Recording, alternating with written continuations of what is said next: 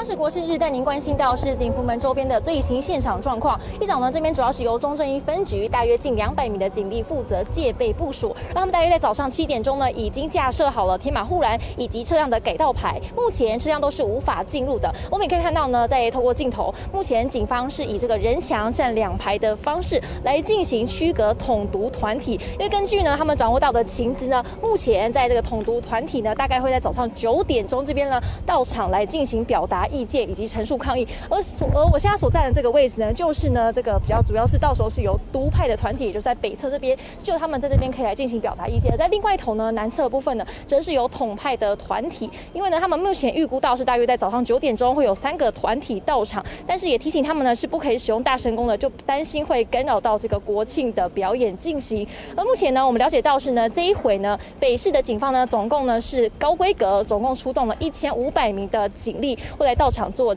这个国庆周边的演练以及戒备。目前呢，主要是有五个分局，包含是中正一、中正二以及大安、万华还有松山的部分是在国庆的周边。而另外呢，是内湖、士林、大同的分局警力呢，走主要是部署在立法院以及行政院的周边。而稍早呢，已经呢包含是有一名的老先生有到场来举牌抗议，但是因为旗帜呢，因为过长过高，警方也担心有危险，因此有进行劝导。而稍后呢，这边的最新状况呢，我们会持续为您掌握了解。我们将先镜头交还彭妹。